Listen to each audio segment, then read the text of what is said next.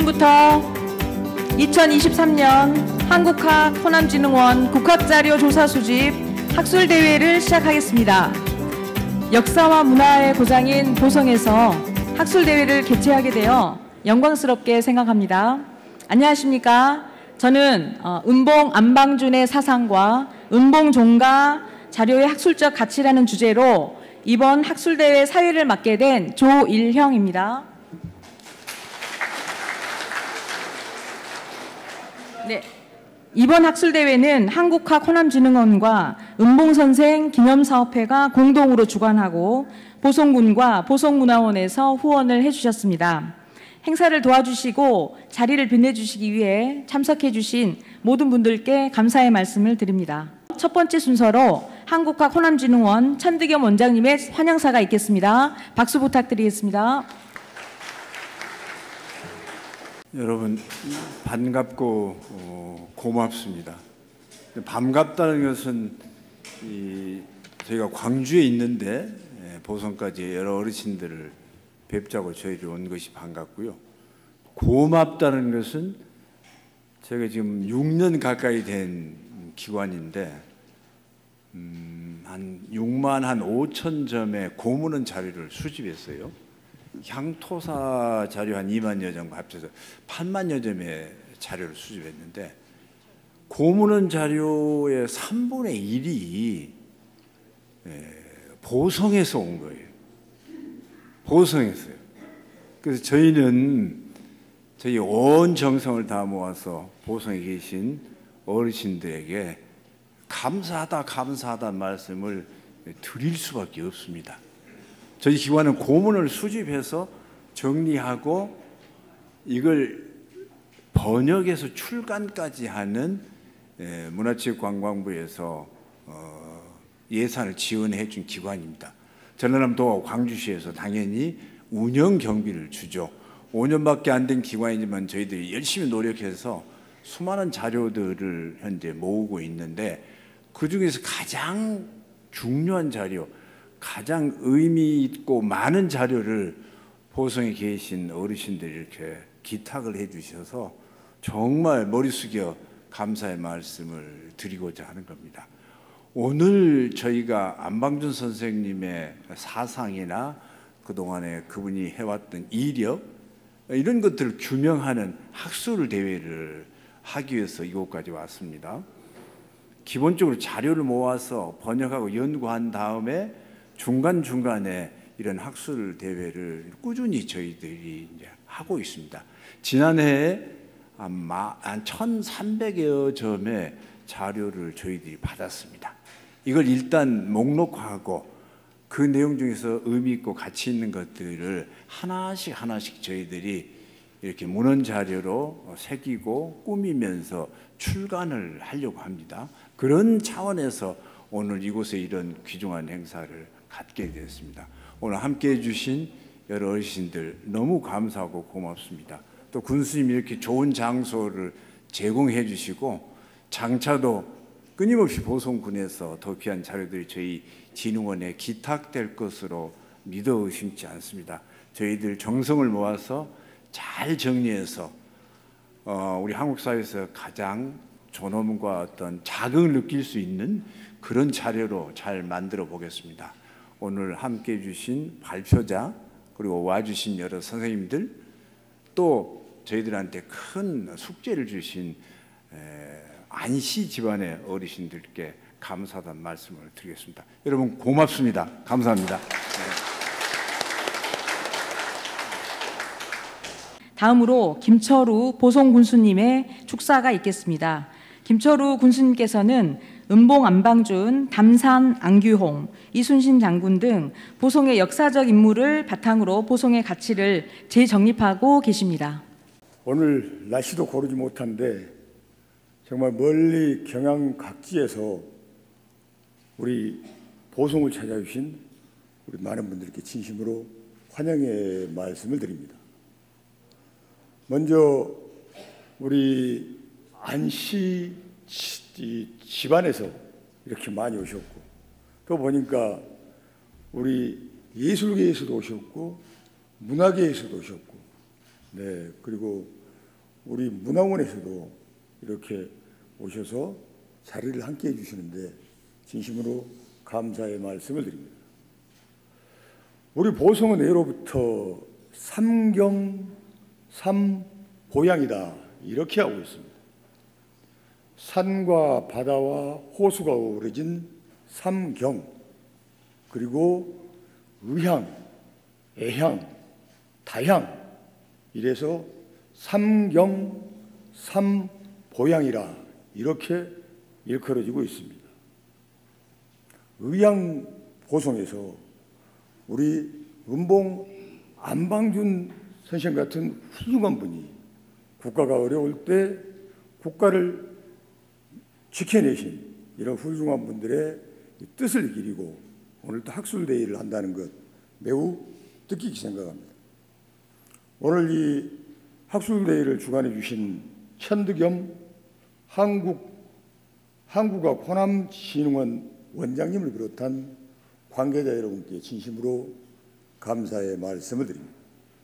또한 보성의병이 가진 의미와 가치를 나누기 위해서 함께해 주신 김현진 문화원장님, 안남순 은봉선생 기념사업회 회장님을 비롯한 모든 분들께도 깊은 감사의 말씀을 드립니다.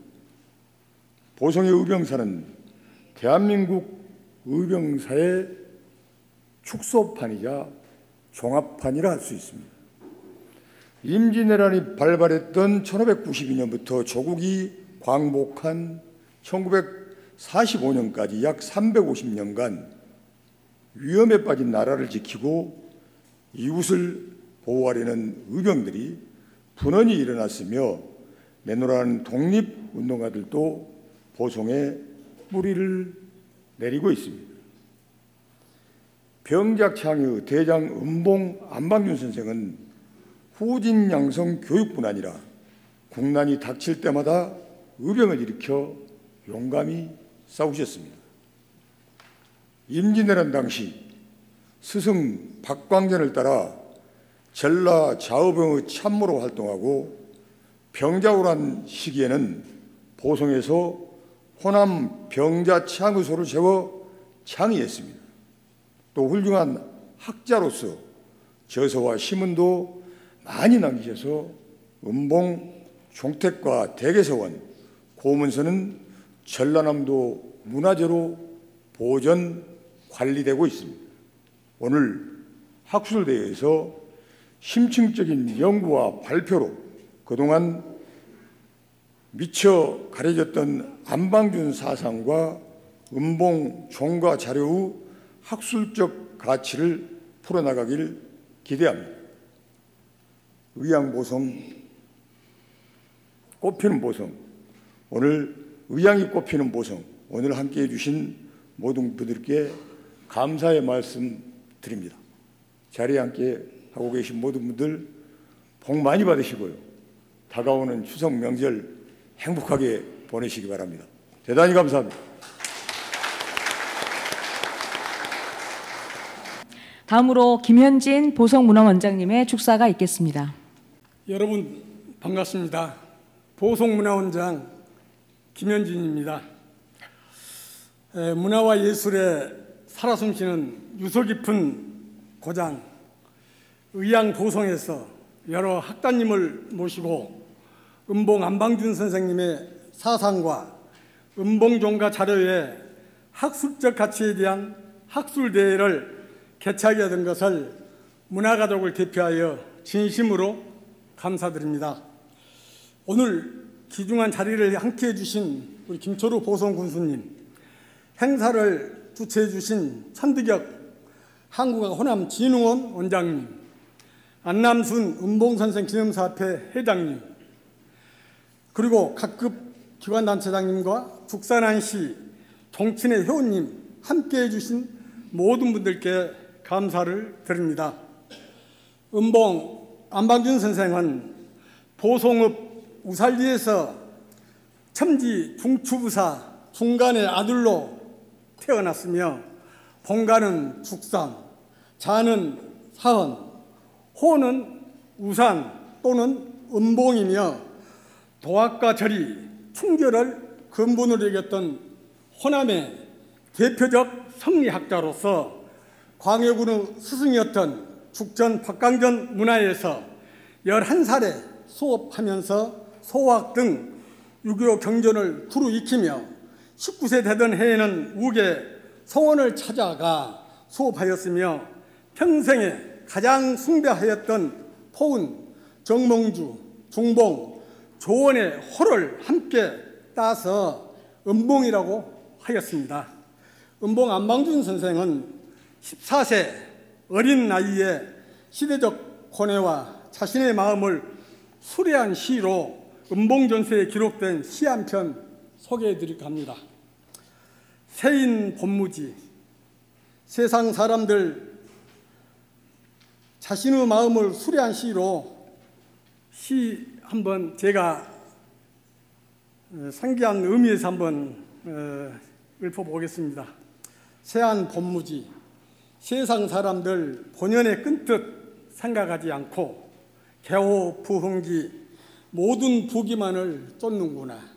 아심불제차 내 마음 여기에 있지 않으니 요군 심살리 깊은 산중에 묻혀 살까 하노라 14세 때 이런 내용의 시를 쓸 수 있는 우리 은봉 선생을 다시 한번 생각해 보게 되었습니다. 1592년 임진왜란이 일어나자 스승 죽전 박강전 선생을 도와 창의하여 700여 명의 의병을 인솔하고 청주로 진군하던 중에 인조 임금이 삼전도에서 항복했다는 소식을 듣고 통곡하며 고향에 내려와 후학들을 가르치다가 1654년 82세 일기로 타계하셨습니다. 문강시호를 받으신 은봉 선생은 이대원전, 진주서사, 한의심편, 호남우록, 임정충결사적, 동안봉사, 시우감계, 우산문답, 부산기사, 규묘유적 등 수많은 역사적 사료 가치가 있는 고문서를 남겨 학회에서 많은 관심을 갖고 여러 차례 조명을 해왔으며 오늘 학술대회를 계기로 사료적 가치가 있는 귀중한 자료들이 연구 자료로 활용되기를 기대합니다. 우리 보성문화원은 고장을 빛낸 인물을 재조명하고 매년 보성문화에 기대하고 있으며 선조께서 남겨주신 귀중한 자료는 지속적으로 발굴, 수집하여 집대성하고 있다는 말씀을 드리면서 오늘 학술대회 자리를 빛내주시기에 함께해 주신 모든 분들의 가정에 항상 행운이 충만하시길 기원합니다. 감사합니다. 네, 축사 감사드립니다. 다음으로 안남순 은봉종과 기념사업회 회장님의 축사가 있겠습니다. 네, 저는 43년간 초등교육에 봉직하다가 당시 1980년대 당시 한문학자로 그 이름이 있었던 신민식 교장과 보성초등학교에서 인연을 맺고 봉심이란 말을 그때 처음 들었습니다. 또 은봉 선생에 대한 자세한 내용을 조사해 주신 그 준비 과정에서 후손으로 몰라도 너무 모르는구나 그런 면에서 늘 부끄럽게 생각했습니다. 그때 만들어진 책자가 이양 선생, 박주천 우리 선생하고 안방주 선생 봉시문입니다. 이 봉시문에는 은봉 선생이 11세 때 박광전 선생 문화에 들어가서 수학을 시작으로 난계 박종정 선생과 우계 성원 문화에서 수학 과정에서 있었던 미담들이 적혀 있고 임진왜란 병자호란 의병 창의 활동 24세부터 시작해서 진주 서사를 위시한 수많은 집필 활동을 에, 내용을 에, 요약이, 요약이 되어 있으며 68세, 74세에 올린 상소문을 제가 그 읽으면서 정말 그 실려 있는 단어들의 섬뜩함을 예, 보고 크게 놀라지 않을 수가 없었습니다. 예, 저는 생활을 하면서 약속을 지키는 일이 참 힘들었습니다. 그 중에도 자신과의 약속은 더 힘들었습니다. 우리 은봉 선조께서는 49세 때부터 벼슬길이 열려서 수차례 그 기회가 주어졌지만 에, 오수도 찰방 외에는 부임하신 적이 없었습니다. 에, 평생 치어사로 생활을 생을 마감하셨는데 자신과의 약속을 이렇게 철저히 지킬 수 있는가 다시 한번 감동했습니다. 돌아가시기 1년 전 매환문답을 저수를 하셨고 송광 정철 선생의 연보를 정리하였으며 박죽천 선생 행장과 우계 선생 연보를 수정하시는 등 쉼없이 활동을 하시다가 1654년 11월 13일 은봉정사에서 타계하시 82세로 예, 타계하셨는데 떠나신 지 2년 만에 능주 유생들은 도산사에서 보성 유생들은 대개서원에서 예, 그리고 호남 유생들은 예, 동복 도원 서원에서 향사를 준비해서 모시기 시작했습니다. 그 2년 동안에 추모제를 추진하는 과정을 상상해 본다면 그 열기를 가히 심작할 수 있어서 정말로 에, 존경스러운 그런 생각이 들었습니다. 전하고 싶은 말은 에, 더 있지만 훌륭한 발표문을 준비해 오신 교수님들 말씀을 듣기로 하고 여기서 줄이겠습니다. 이번 학술대회가 민족의 생각자에 대한 국내외 관심을 높이고 더욱 활발해지는 계기가 되기를 바라면서 함께 해주신 모든 분들의 가정과 직장에 건강과 행운이 함께하기를 기원합니다. 감사합니다.